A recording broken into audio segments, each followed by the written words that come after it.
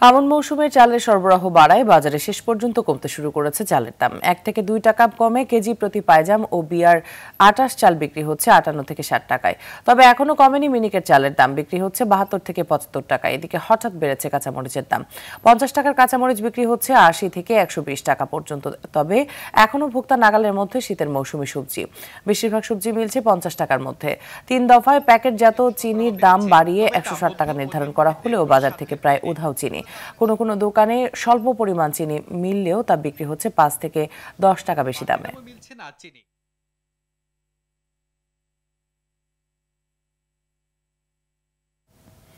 দর্শক রাজধানী কারণ বাজারে আছেন সহকর্মী সেলিম মালিক। সেখান থেকে সরাসরি যুক্ত হচ্ছেন তিনি। সেলিম বাজারে পণ্যের দাম ও সরবরাহ সম্পর্কে আমাদের জানাবেন।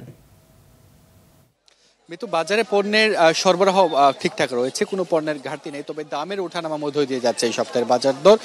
এর মধ্যে যদি আমি বলি যে আমনের ভরা মৌসুম চলছে এখন এবং আমনের ধানও চলে এসেছে, এর জন্য চালের দাম কিন্তু কিছুটা নিম্নমুখী। গত এক সপ্তাহের ব্যবধানে আমরা দেখতে পাচ্ছি যে এক থেকে দুই টাকা পর্যন্ত চালের দাম কমেছে। বিশেষ করে বিয়ার আটাশ বিয়ার আটাশ এবং পাইজাম যে চাল বা স্বর্ণা চাল সেই চালের দাম কিন্তু দুই থেকে এক থেকে দুই টাকা কমেছে। আমি এর একটু বিস্তারিত জানার চেষ্টা করব একজন দোকানির কাছ থেকে যে কত টাকা আসলে কমলো চালের দাম এবং মশলার দামটা আপনি বলবেন?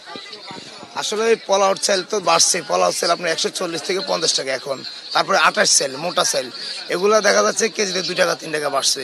মিনিকেট সেল সত্তর টাকা বেচতেছে। জিরা, বিশেষ করে জিরা, এলাচি, দারচিনি, লং, গোলমরিচ, সব মশলারই দাম কেজিতে একশো থেকে দুশো টাকা বাড়ছে। জিরা ছিল চারশো আশি টাকা, পাঁচশো টাকা। এখন জিরা ছশো টাকা। এলাচি ছিল তেরোশো পঞ্চাশ টাকা। এখন এলাচি পনেরোশো, সাড়ে পনেরোশো টাকা।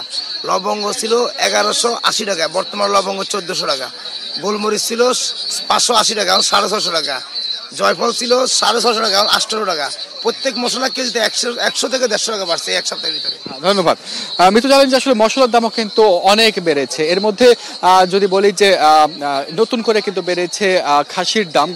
গত সপ্তাহে যে খাসি বিক্রি হচ্ছে কেজি প্রতি এক হাজার টাকা, সেটি এখন এক- এগারোশো টাকা বিক্রি হচ্ছে। তবে গরু এবং ছাগলের মাংসের দাম আগের আগের দামে বিক্রি হচ্ছে। এর মধ্যে ব্রয়লার মুরগির দাম কিন্তু পাঁচ থেকে দশ টাকা পর্যন্ত কমেছে। দেড়শো টাকা বিক্রি হচ্ছে ব্রয়লার মুরগি। তবে সোনালিকা সোনালিকা মুরগির দাম কিন্তু দশ টাকা পর্যন্ত বেড়েছে দুইশো ষাট টাকায় সোনালী বিক্রি হচ্ছে।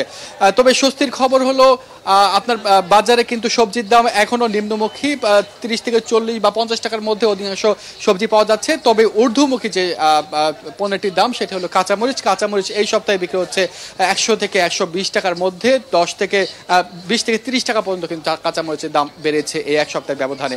তো মিতু, এই ছিল আমার কাছে এই সপ্তাহের বাজার দরের হালচাল। ধন্যবাদ আপনাকে। সেলিম দর্শক এতক্ষণ রাজধানীর কারণ বাজার থেকে জানাচ্ছিলেন সেলিম মালিক।